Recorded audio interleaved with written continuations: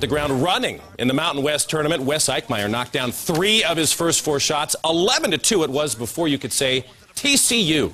Pierce Hornung, a man possessed, fights off three horned frogs right here, then fights Dwight Smith for the Ram Jam. CSU with five players in double figures. Rams reach, reach uh, 20 wins for the first time since 1998, and this senior class picks up its first win in the Mountain West Conference tournament.